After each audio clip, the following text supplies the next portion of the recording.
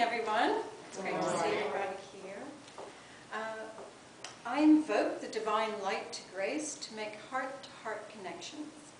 I make true connections when my heart touches another. Right now, I'm in the process of listening to the 21, the free 21-day meditation uh, practice with Oprah Winfrey and Deepak Chopra, and it's called Creating Peace from the Inside Out. If you're not listening to it, I highly, highly recommend it. So what I'm speaking on today, I was inspired by listening to these meditations. I was also, of course, inspired by Spirit when I volunteered. I was also inspired by my youngest son, Joseph, who kindly had a look over this and asked me some questions to give me a little bit more insight. So thank them all. In this meditation process, Oprah asked, when was the last time you thought about what you really makes you feel good? What fills you up? What brings you a feeling of unshakable peace? I thought these were really excellent questions. And so I invite you now to take a couple of minutes, or a few seconds, to actually think this through and share some of what makes you feel great. So if you just want to take a minute and just have a little share. Oftentimes it'll just like pop to your mind so quickly. So for me, when I when I did this, the first thing that comes to my mind is the beach. I love, love the beach. Seeing the ocean and its vastness and its energy, and then you look across there and you see the sky and its vastness, and just knowing that those water and that air, that it's all connected to this whole planet. And the vastness of the sky that reaches into like the outer, outer beings and that connects us to the divine, but yet the divine is inside of us. Just as the waters and the sky are there for me to take into my being, I can touch the water and breathe in the air. It's, it's also connected to everybody else. So it's just a sense of connectedness but with it always also being there. It makes me feel really small, but yet it also makes me feel really large at the same time. So insignificant, like one of the grains of sand on the beach, yet so significant that I'm part of this mighty plan of being. Being one person, yet being one with all of it, like the oceans and the air. It's a really magical feeling for me, and it just kind of opens my heart up and it just makes me feel wonderful. Does anybody else have some thoughts that they would like to share about what takes them to their happy place? Chris? My happy place is a meadow full of flowers, a stream, and mountains in the background. And we have camped in an area like that uh, when we were in California. And it's not the same, but it's similar. Um, But the colors there are very um, bold and soft at the same time. So that's my happy. It just makes you feel that, that connection, opens your heart. That's great. Does anybody else want to share any of their? Okay, moving right along. Most of us love our family and love the connection that we share with them. They can delight and infuriate us. But yet, either way, we love them to the core. There's a deep, deep love that family teaches you, and a deep, deep connection. And that's that heart space connection.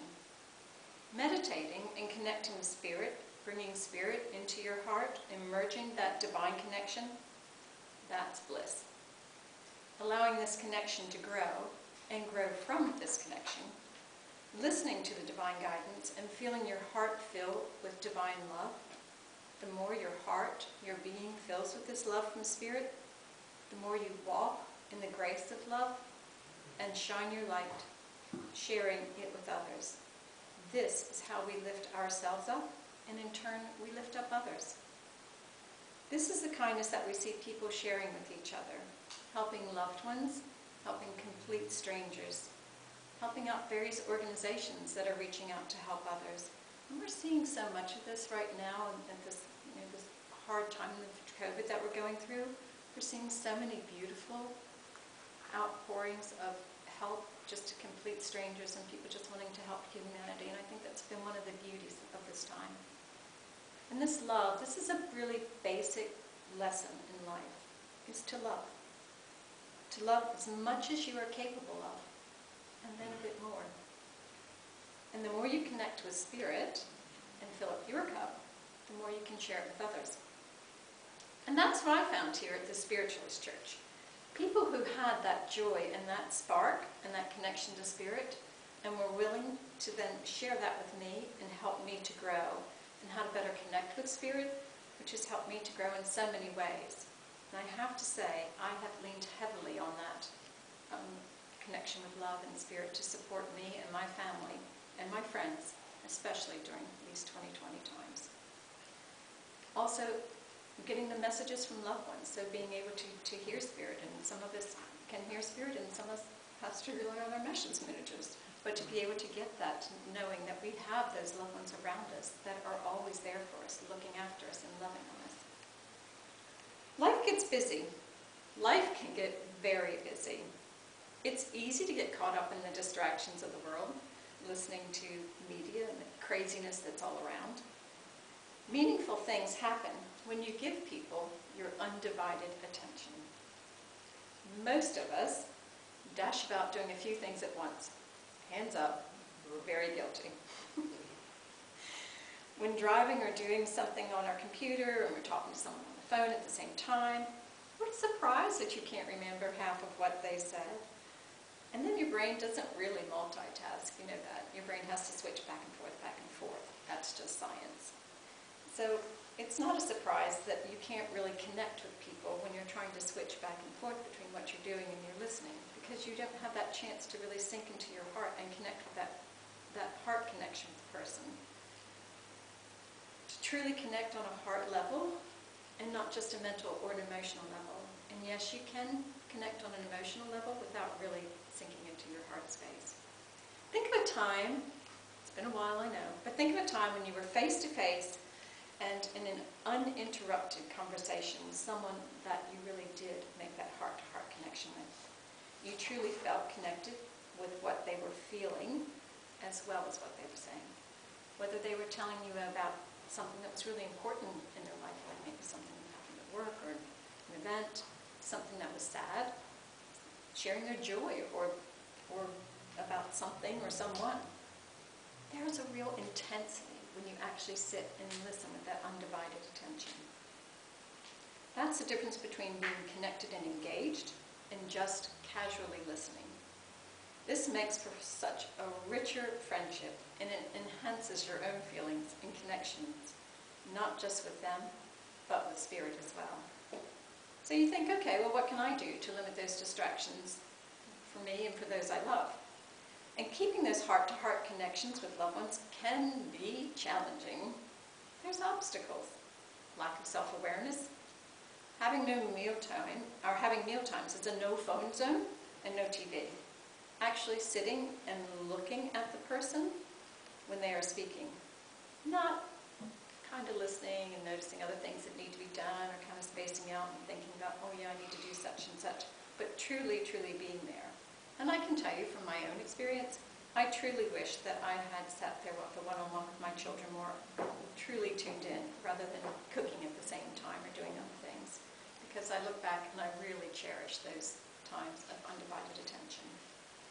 In the Reverend Marilyn Autry's book, The River of Life, which explains the laws of spiritualism, um, it's a very interesting book and it's available in our bookstore if you're interested. But I'm going to talk about the law of responsibility, which states that although we are interrelated, each individual is accountable for his own conduct and obligations. It is your responsibility to do what must be done in order to raise your level of consciousness. As we state in the principles that we just spoke of, we make our own happiness or unhappiness as we obey or disobey nature's physical and spiritual laws. I believe all this ties in. By allowing Spirit to grow in our heart, connecting to the love of Spirit, we are creating our own happiness. And the more we create our own happiness, the more we shine and want to share it with others. And others see the light within and are attracted to it. And then they want to learn more about this upbeat vibe. And that is actually what it is. It is an upbeat vibration because the more you are raising your consciousness, the more you're raising your vibration level, and the, the closer you are in partnership with the divine. So problem solving need problems problem solving focus needs to be bringing in the light, not trying to conquer the darkness. And that's a quote from Deepak Chopra, and I'll try and repeat that. Problem solving focus needs to be bringing in the light, not trying to conquer the darkness. Because you don't conquer darkness by more darkness, it's only by bringing in the light does darkness disappear. To be in the light, you must consciously be consciously aware of what is actually happening and bringing light into yourself. So things you can do, you can set an intention to allow the light in, the here I am, the surrender, the allow connection with your consciousness into the light. Light can be the divine, spirit, and the light of love. Recognize when consciousness is occurring. Know this feeling and this space so you can come back to it often throughout the day. It is your little sacred, sacred space, your little place of respite. Experience the light. We've all felt that special feeling of closeness, security, peace, sense of being cherished, loving kindness, and knowledge that we, we belong. Heart to heart is living in the light without fear. We radiate what we are inside to the outside. The light of awareness makes this all possible. Know that you can create positive change in your relationships. Consciously communicate with another person. And when you speak, ask the old ones, is it true? Is it kind? Is it necessary? Take full responsibility of your actions and how they will affect another. Buddha talks about right thought, right speech, and right action. And the rightness comes from the level of being our true self. Relationships shift by using these guidelines. The messages that you send to other people through your thoughts and words and deeds is, I care, I'm listening, you matter, and I want only good for you. And that's really what people want, isn't it? Do you know people want to know that they're valued? People want to be heard and loved. Can you think of anyone who doesn't want that? And as you spread this love, people want to know more, you spread your knowledge and explain how they too can grow in love and peace by learning how to connect with Spirit. Once they know how to connect with Spirit, Spirit can then teach them their lessons in love and connection. And what if your friends and family connect to the, to the light differently than you do? Fine. It's useful to discuss and the differences and see what you can learn from each other. Be open. And if you're both connected to the light, but in different ways, does it matter? Let the differences not come between you, but let that shared connection join you. How do you eat an elephant? I think most of us have heard that expression. The answer is one bite at a time. Thankfully, it's a metaphor because I actually thought it was quite revolting. Um, however, it is a good example of how to tackle things a little bit at a time. And that's true about the negativity that's in our world right now. By walking more in spirit and connecting daily, filling your heart and sharing that with others, they doing the same. And that's how we bring more light into the world. How we focus on the light rather than trying to conquer the darkness. Darkness cannot live in light. Let us be the bringers of light. Start by strengthening your own connections with Spirit. Start by being kind and sharing love and respect for others. This is how you, your one little spark, helps to change the world. What if the people you're trying to share the light with aren't really interested? It happens. Even some of them scoff at the idea of such nonsense. We've probably all heard that, especially if you have teenagers. it's okay. Love them anyway. Don't judge. And don't belittle them for not knowing any better than the darkness. Just love them and send them light. How did you ask? Ask the angels to speak with their angels for them to allow the light in. Ask Spirit to hold them in light around them so that they may actually start to feel it. And like we did previous to this service, send healing energy to them. That is so powerful. Again, remember, your mission is not to conquer the dark, but rather be the bringer of light. Not everybody is ready. You cannot change a person. That's a good one to remember. Only Spirit can. And the biggest part is they have to be willing to allow the light in and ready for the change. And that's not in your control. And it's really useful for you to remember that for your own peace as well as theirs. And just love them anyway. And the same goes for people who think your happy demeanor is just fake. Be understanding of them. As if they haven't felt that peace and that connection, it's really hard for them to get it, to understand it. Just send them healing and peace. No arguments, because what's there to prove that your undisturbed peace wouldn't already be the example of? And what about for yourself? Is it a case of once you connect with spirit and light, you just stay there blissful? I wish the answer was yes. It's hard enough to capture that little space long enough in meditation. But that's not always the case. Sometimes life deals things to you that challenges your beliefs and your connection, and darkness starts to creep in. Go back to step one.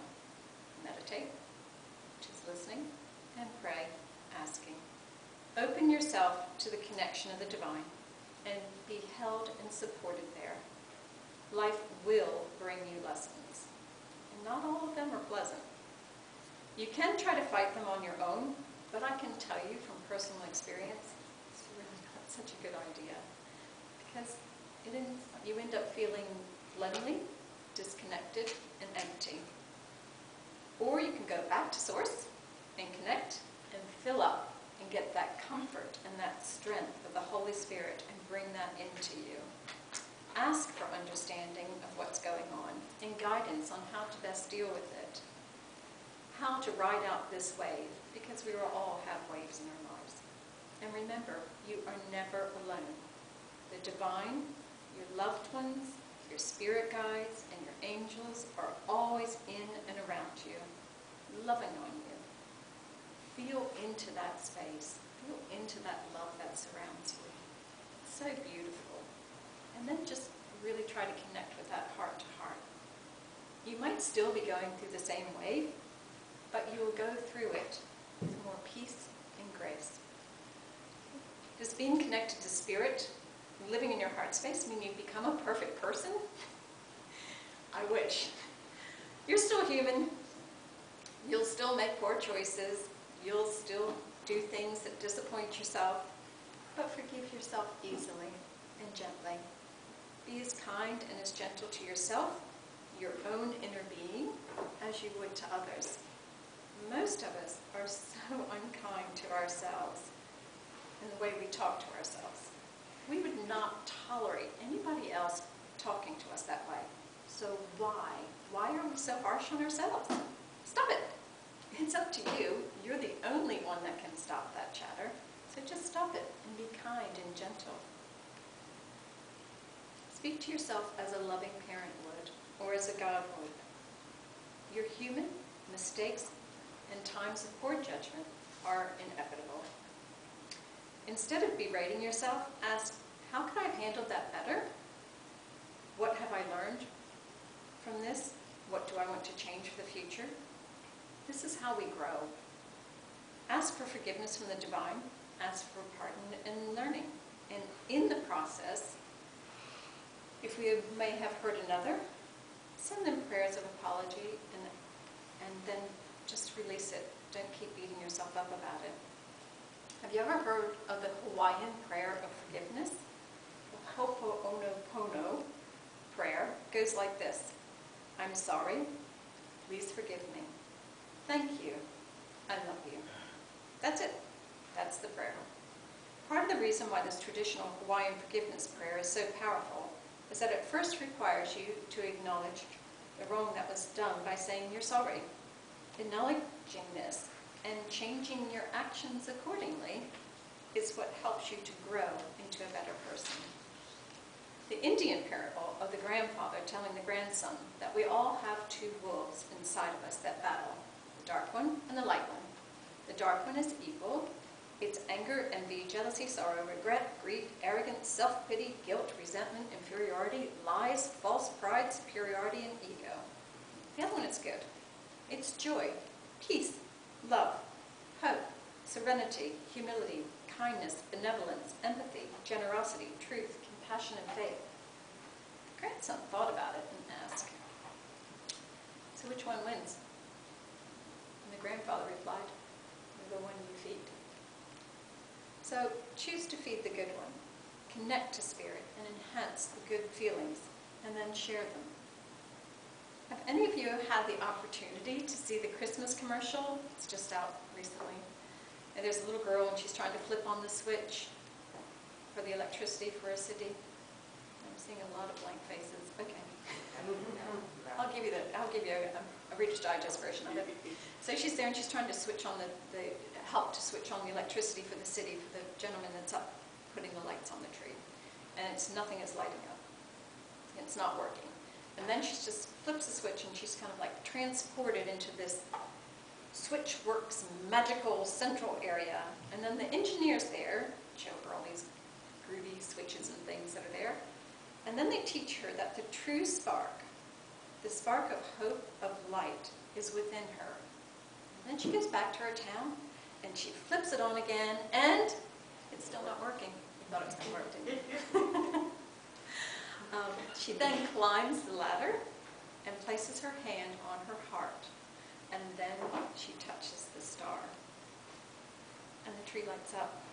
And then the, you know, the star lights up, the rest of the tree lights up, and then the whole town starts to light up, and you just see everyone kind of looking at each other kind of magically. It's a beautiful commercial, um, and it's not one to fast forward to when you're watching TV. I think it's the Chick-fil-A commercial, but you know, sometimes the commercials are so moving you kind of forget what the product is. Um, but you can find it on YouTube. Let us remember that by connecting to the divine increases the spark of light we each have within of us.